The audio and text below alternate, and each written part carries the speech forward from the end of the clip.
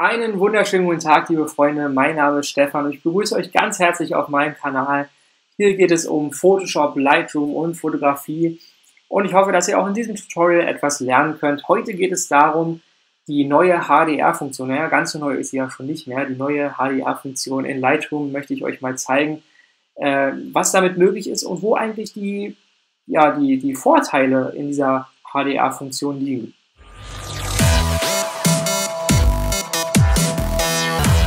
Ich habe hier einfach mal fünf Bilder ähm, ja, von einem Motiv in verschiedenen Belichtungen aufgenommen und ähm, die möchte ich euch heute mal zeigen und mit denen möchte ich arbeiten.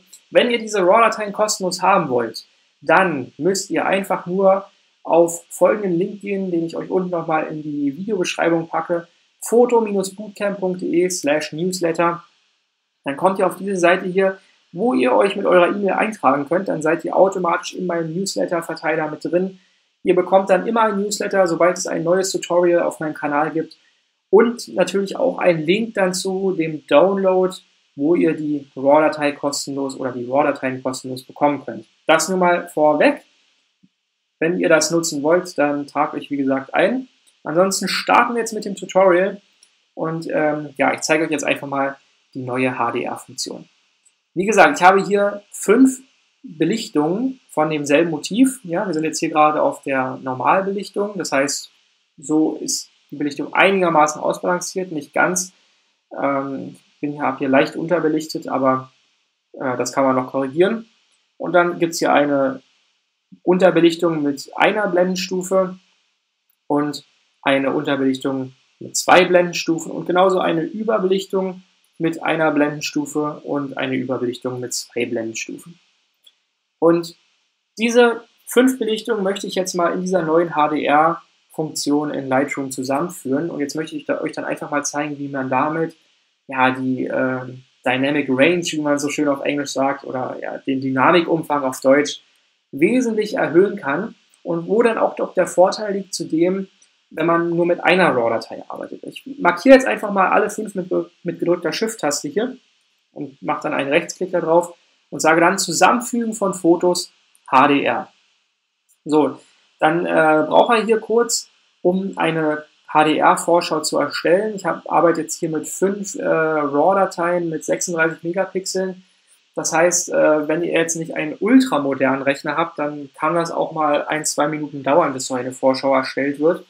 Ich hoffe allerdings, dass das jetzt hier etwas schneller geht. Ansonsten drücke ich jetzt hier mal ganz kurz Pause und wir sehen uns gleich wieder. So, Lightroom ist fertig mit der Vorschau und ja, wie ihr sehen könnt, seht ihr eigentlich keinen großen Unterschied. Also ich sehe zumindest keinen großen Unterschied. Und äh, Lightroom bietet uns jetzt hier auch gar nicht viele Optionen an, was man jetzt hier noch großartig verstellen könnte. Äh, ich habe jetzt hier einfach mal automatisch Ausrichten noch angeklickt, beziehungsweise das ist standardmäßig, glaube ich, angeklickt. Das ist einfach, wenn ihr die Bilder übereinander legt, dass dann halt auch das Bild ähm, ja, optimal übereinander liegt, damit da keine komischen Effekte entstehen. Die Geistereffektbeseitigung, wie es hier so schön genannt wird, äh, habe ich komplett rausgenommen. Das ist, wenn ihr zum Beispiel im Wind Bäume fotografiert oder so oder vorbeifahrende Autos, wenn da mehrere Bilder übereinander gelegt werden, dass da keine Geistereffekte entstehen. Ich klicke jetzt hier einfach mal auf Zusammenfügen und ähm, ihr seht jetzt hier oben auch schon, dass Lightroom nochmal arbeitet. Das HDR-Bild wird erstellt. Und jetzt kommt der eigentliche Vorteil äh, von der ganzen Geschichte.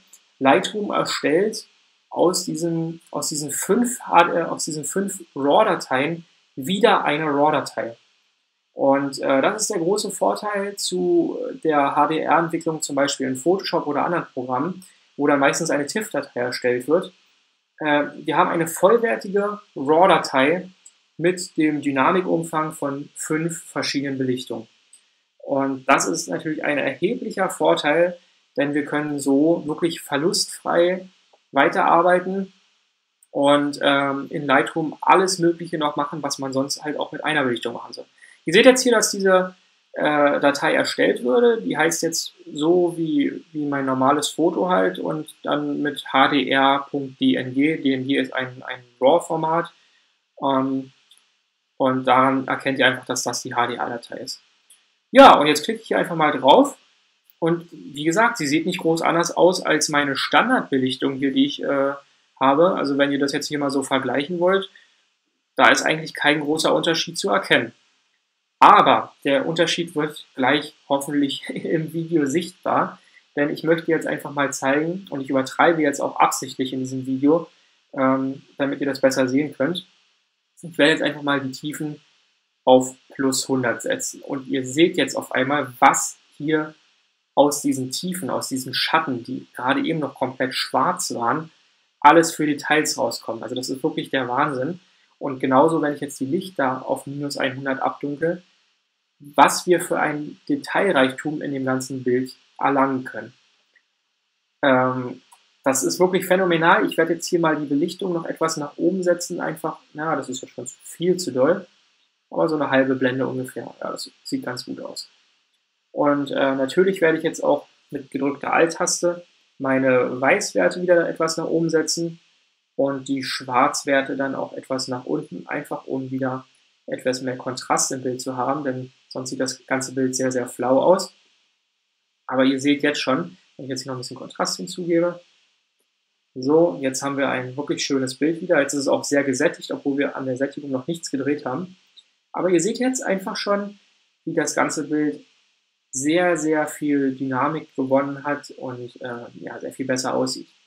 Ich werde jetzt die Klarheit hier mal wieder etwas nach unten setzen, ein bisschen mehr Dynamik reingeben und die Sättigung etwas rausnehmen. Sonst ist es dann doch ein bisschen sehr viel. Und ähm, dann werde ich den Weißabgleich noch ähm, einstellen. Ich denke mal, ich gehe nochmal auf bewölkt. Das gefällt mir so ganz gut für den Sonnenuntergang-Look. Ja, vielleicht ist es ein bisschen sehr doll, jetzt zumindest in dem Fall. Ja, ich, denke mal, ich gehe mal so auf ungefähr 6000. Dann werde ich jetzt hier weiter runtergehen. Auf jeden Fall mein Bild wieder schärfen. Auf 80. Mit gedrückter Alt-Taste maskiere ich das Ganze wieder aus. Alles, was schwarz ist, wird nicht geschärft. Alles, was weiß ist, wird geschärft. Gehe ich noch weiter nach unten. Werde die Profilkorrekturen aktivieren, chromatische Aberrationen entfernen. Und so gefällt mir das Bild schon mal sehr gut. So, und jetzt möchte ich euch mal den Unterschied zeigen äh, zu einer einzelnen RAW-Datei, die wir entwickeln.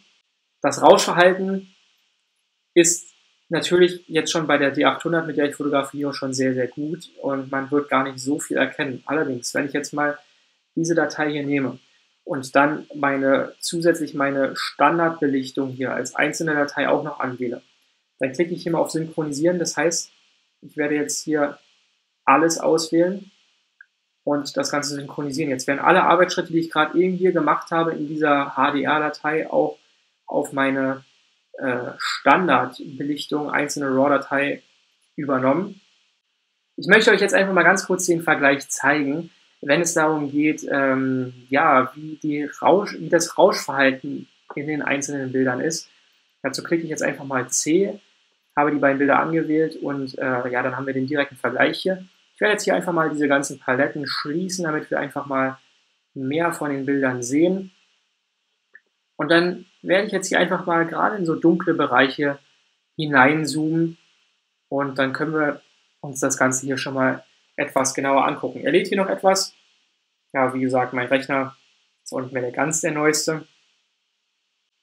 Ja, und jetzt haben wir hier den Vergleich. Auf der rechten Seite seht ihr das HDR-Bild, auf der linken Seite ja die einzelne RAW-Datei. Und wenn ihr jetzt hier mal genauer hinguckt. Ich weiß nicht, ob man es so gut im Video sehen kann. Wenn man auf Full HD guckt, vielleicht so ein bisschen. Aber ihr müsst es einfach mal auch zu Hause selber ausprobieren. Wie gesagt, wenn ihr den Newsletter abonniert habt, dann kriegt ihr die RAW-Dateien kostenlos zur Verfügung gestellt zum Üben.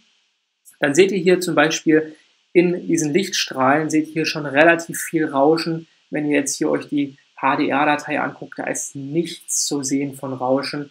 Wenn ihr jetzt hier in diese Schattenbereiche geht, dann sieht man doch hier schon relativ viel Rauschen und im Vergleich hierzu, das ist wirklich ein absolut cleanes Bild.